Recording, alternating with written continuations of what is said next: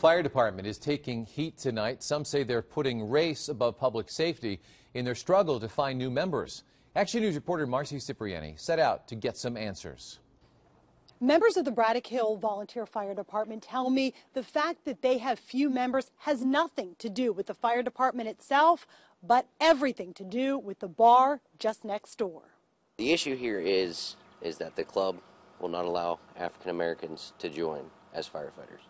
It is a bold statement full of accusations and blame, but a statement backed up by high ups in Braddock Hills. No African Americans are allowed in.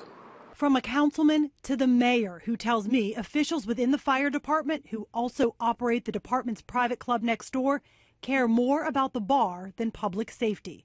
The Braddock Hills Volunteer Fire Department has been struggling with membership, relying on other departments to cover their community, even when a fire consumed a home just across the street from their own department. Firefighters say the problem is that people who want to help are being turned away because of race. The accusation was made in public at a recent council meeting and caught by our cameras. I have a buddy of mine that's wanted to join for about a year now, but he's not allowed because the bylaws still state that if you are African American, you're not allowed to join. We took that statement to the club's president, who told me that's a lie. He says it isn't in their bylaws. It's also never happened.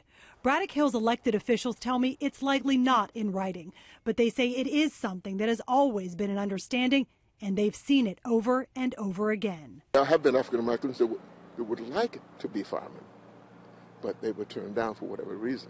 And what the reason is, I, I have to call it like it is. They don't want African Americans in there.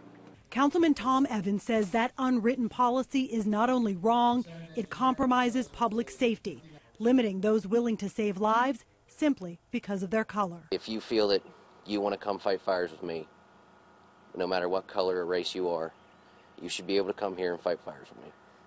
Braddock Hills firefighters tell me they will bring up this issue at the council meeting this Thursday at 7:30 at the Braddock Hills Borough Building.